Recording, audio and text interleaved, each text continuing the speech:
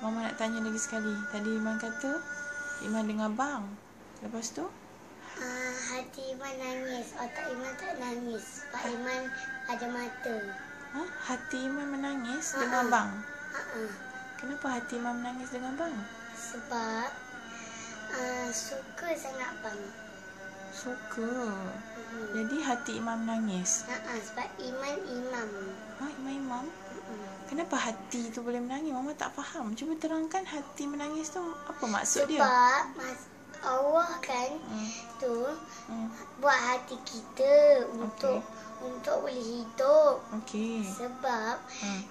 kata otak ni untuk kita fikir nak solat, Hmm. menulis, Hmm. makan, Hmm. Naik motor, Hmm. pergi surau, jalan-jalan, Okey. tidur, Hmm. jaga kat rumah.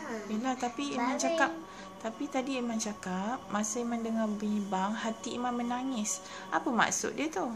Maksudnya Hmm. sedap sangat bunyi bang tu. Oh, ya ke? Okey barulah mama faham. Okey. Okey dah.